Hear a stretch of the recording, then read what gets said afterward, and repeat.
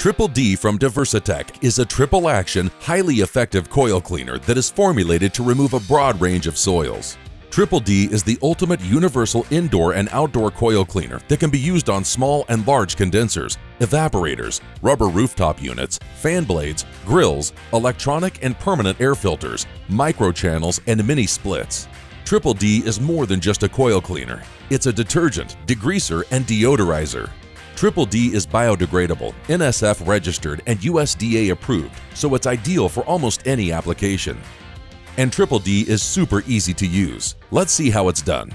Using 75% less than comparable products, Triple D requires only one part for every six parts of water on condensers.